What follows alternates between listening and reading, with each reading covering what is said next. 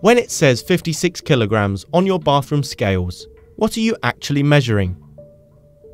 Well, if you said weight, like most people would, then you're sort of wrong. Kilograms are a measure of mass, but the scales actually measure the force of gravity on your mass. So they do actually measure weight, but this should be in units of force, newtons. Confused? Keep watching. This is a 1 kilogram bag of sugar.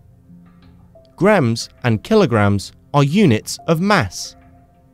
Mass is a measure of how much stuff is in something. This bag contains twice as much stuff. It has a mass of 2 kilograms. It would be wrong to say the bag weighed 1 kilogram or 2 kilograms, as weight is a force caused by gravity. To measure the weight, we need a spring balance or force meter. This is a force meter, or a Newton meter. It shows the weight of something hung from it. Let's add the bag of sugar. It shows the weight is almost 10 newtons. Can you remember the equation that links mass with weight? Remember F equals ma, where F is force in newtons, m is mass in kilograms, and a is acceleration in meters per second per second. We can rewrite this a little as W equals mg, where W is weight in newtons and g is acceleration due to gravity. On Earth, g equals 9.8 meters per second per second. So the weight of the 1 kilogram bag of sugar is 1 times 9.8, which equals 9.8 newtons, as the picture shows.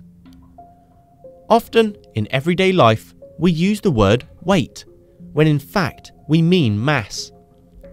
The bag of sugar has a mass of 1 kilogram, but a weight of 9.8 newtons. Now let's take this bag of sugar to the moon. The moon is much less massive than the Earth, and so has a lower gravity.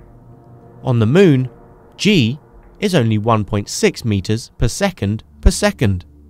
See how the weight has dropped compared to when it was on Earth? But notice, we still have the same amount of sugar. There is still 1 kilogram of stuff. The weight has changed, but not the mass. Jupiter, the gas giant, has a G value of 25 meters per second per second.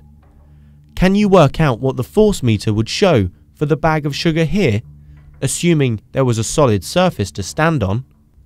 The sugar now has a weight of 25 newtons.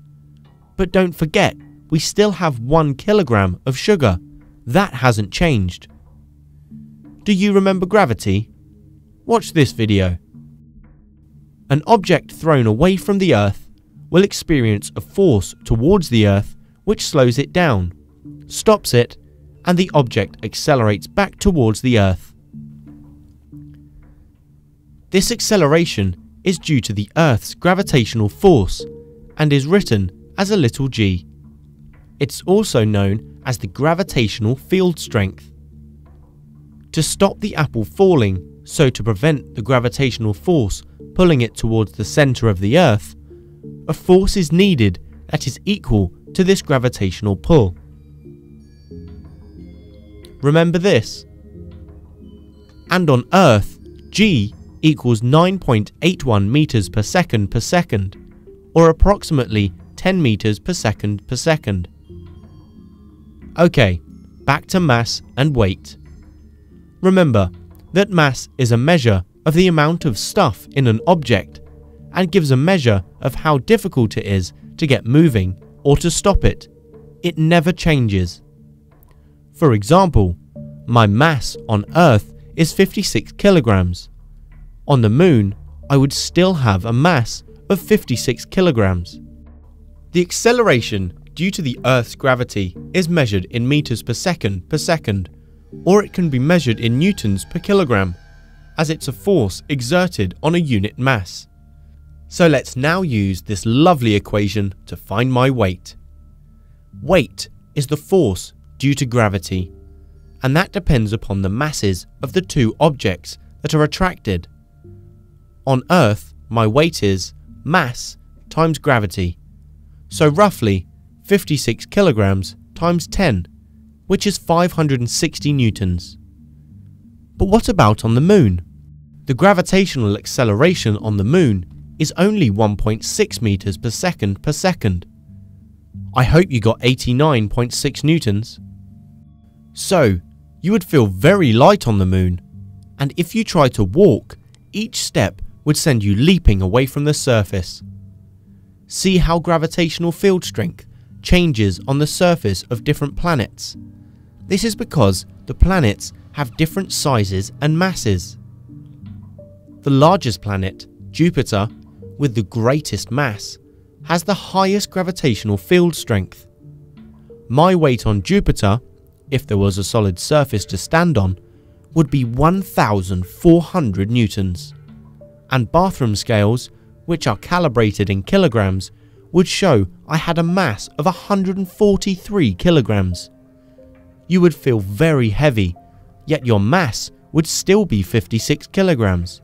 Just your weight would be two and a half times more than on Earth. Now for Newton's apple. An apple with a mass of 100 grams is held in your hand to stop it from falling to Earth. What force do I need to prevent it from starting to fall? Take the acceleration due to gravity to be 10 meters per second per second. Pause the video and work this out. So the force is mass m times g or 0.1 kilograms times 10.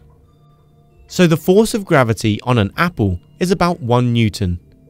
And it was the falling apple that gave Isaac Newton the idea in the first place. How about that? And just remember, our mass always stays the same, but our weight can change. Maybe we should all move to the moon.